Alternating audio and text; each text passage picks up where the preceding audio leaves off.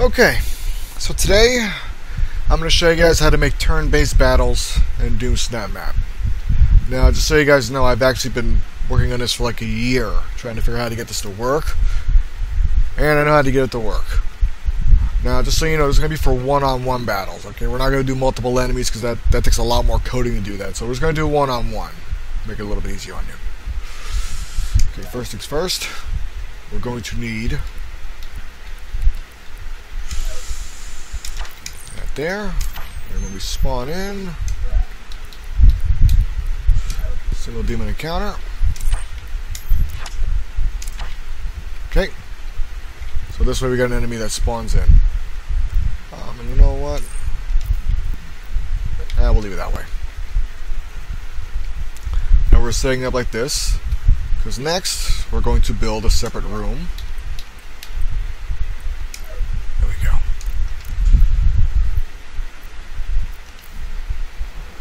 This is going to be our battle room. Okay, so right off the bat, let's go ahead, grab this.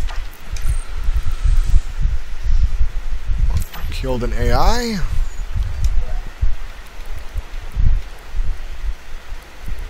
We're going to teleport here.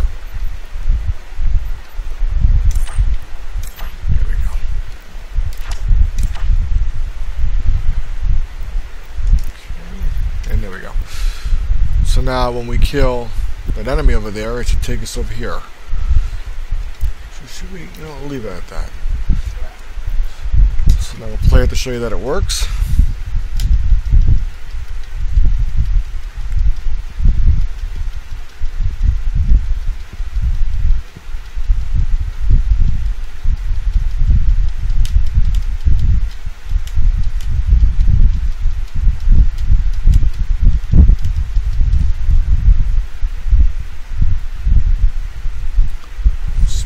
walk up to the enemy. And there we go. So now we're in the other room. That's the first part.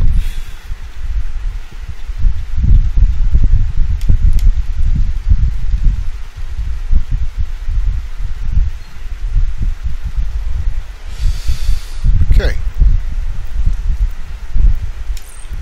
Now we got to set up a camera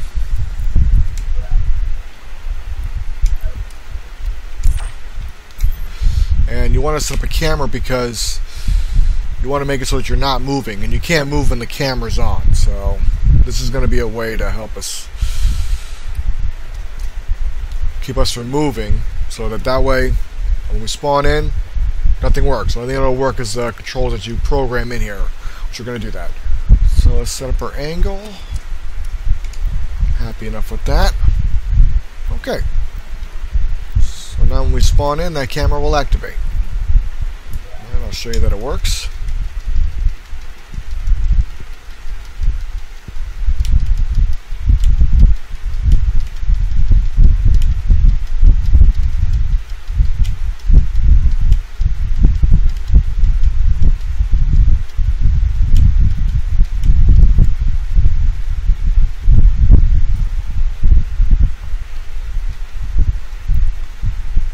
Okay, so now we kill this enemy, there we go.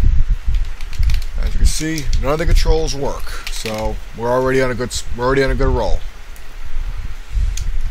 That's good. You don't want other controls working because you don't want to be, you know, taken out of the experience for this.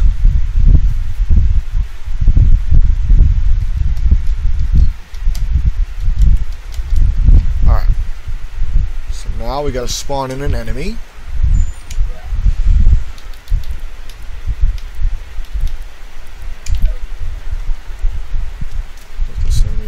Here.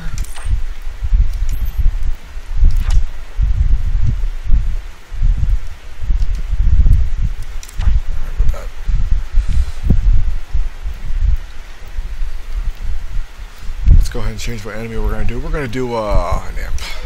He's got range on him at least. Oh yeah.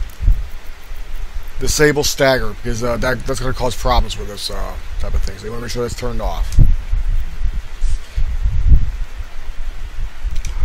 Also, we want to make them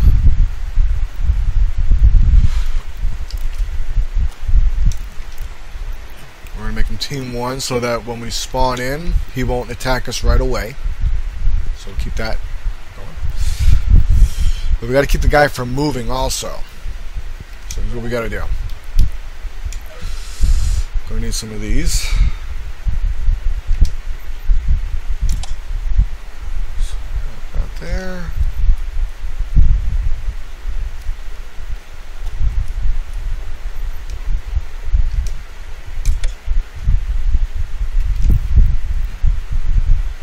let's delete that real quick. Let's, let's, set this one up. We have to set this up so um, block demons, don't block their AI sight. Don't show in star because we don't want to see it, and don't block shots. That way, uh, the enemy can shoot through that because we're going to be doing some range attacks here. And we'll just copy this over.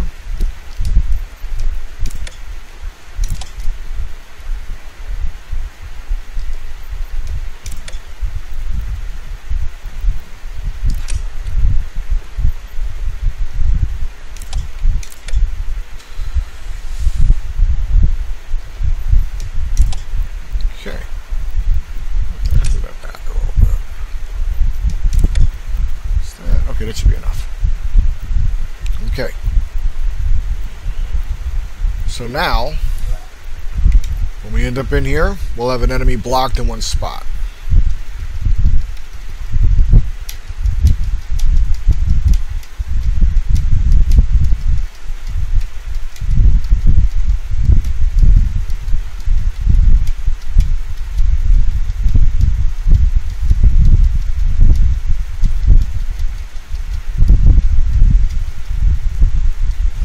So we kill this guy spawn in. There's our enemy.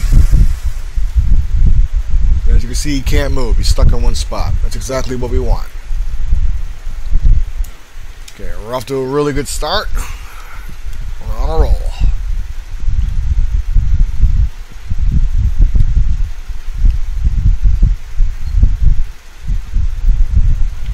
Okay. Now, just gotta set up a few other things here real quick. We're gonna need a boolean real quick.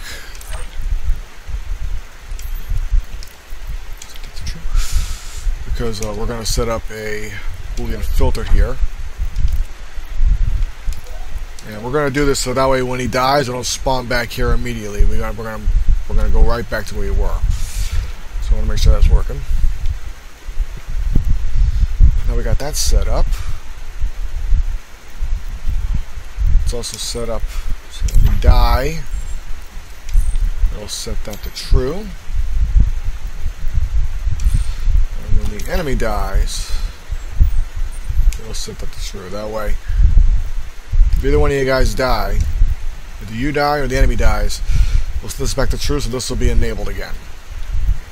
Okay, that way you can come back here when you kill another enemy in the main world. Also,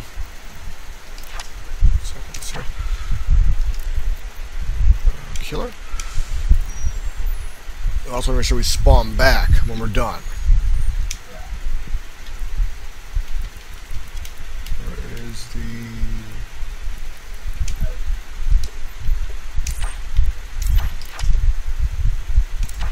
Okay, so we got that set up. Now we have to make our attacks. So on arrived. Player input. We're going to enable that. What we're going to do is on pressed. We're going to hurt the enemy. Okay, so let's get this up here so it's out of the way. Uh, we're going to knock this down to about 25%.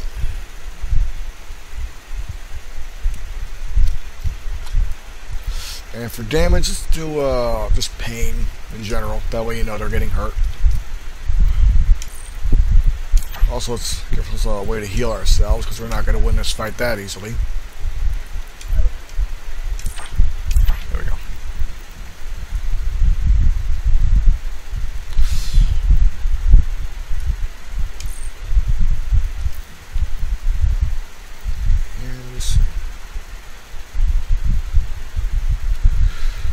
And the next, on hurt, disable this.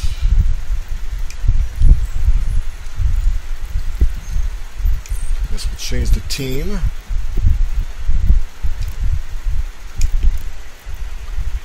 Team 2, spawn.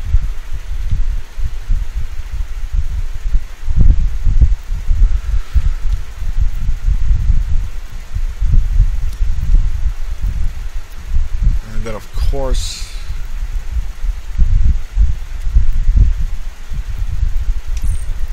when we get hurt it'll set it back to team 1. Okay?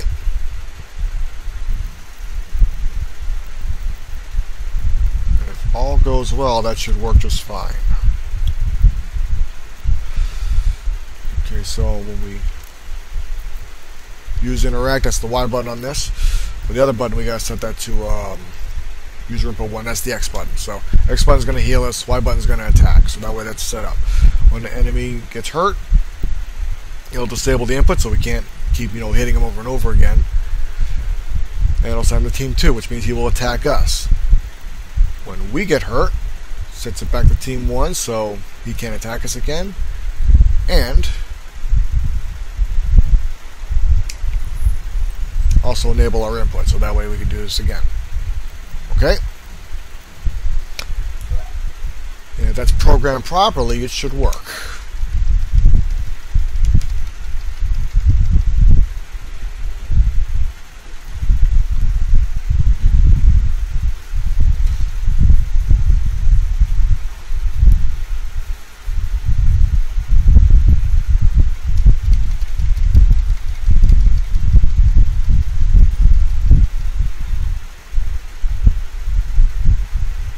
Okay, so we kill this guy.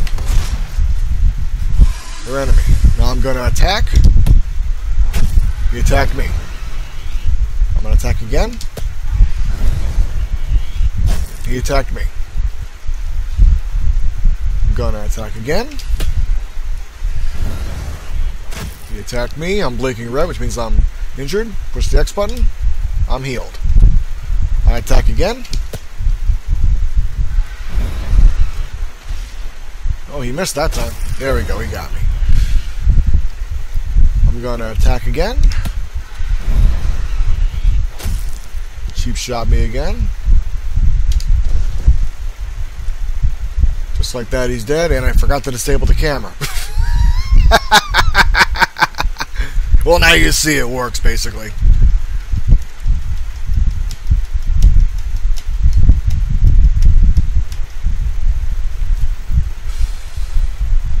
One enemy killed. Disable camera. Okay, there we go. Let's play that one more time to show you it fully works.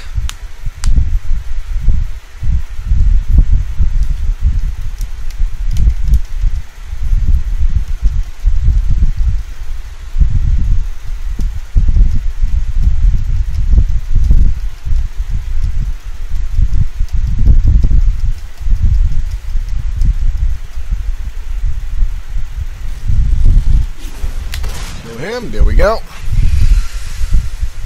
And I'm to attack.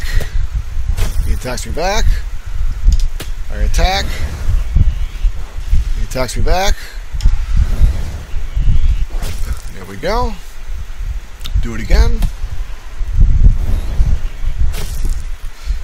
Heal myself. Do it again. Let's go again.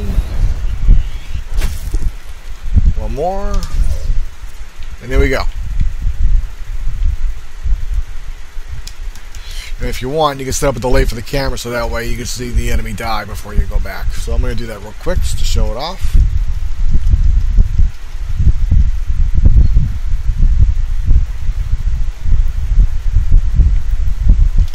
So let's give this uh, just a one second delay.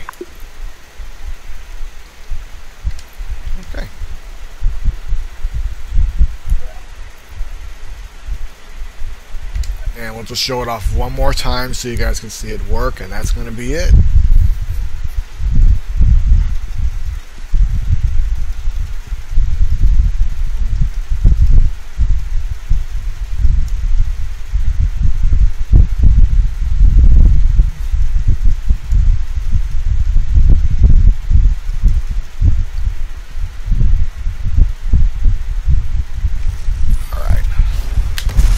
more time. I'm gonna do this really fast.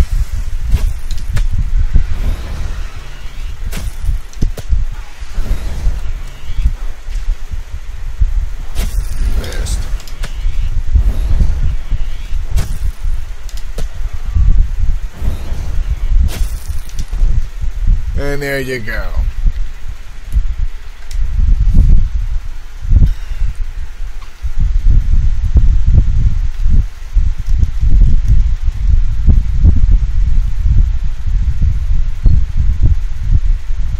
And that is how you build a turn-based RPG.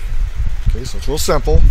Uh, if you want more than one enemy in this room, you're going to have to do some more programming. You're going to have to use this, and you're going to have to set up the D-pad so that you can switch between um, uh, which enemy you want to attack if you want to do it that way. If you don't do that, it's going to be a random attack, so you're going to have to attack these enemies in random order. Um, you can also set them up so that all three of them, if there's three of them in this room, or more than that, you can set them up so that when you attack once, they all attack you at the same time. The only difference is that you're going to have to have a lot more health in order for you to survive that, so it's going to be a little bit of a different story. You can also set up different button commands, like uh, like you set the jump button for magic. You want to set the enemy on fire, for example. Um, like you can set up a different button input.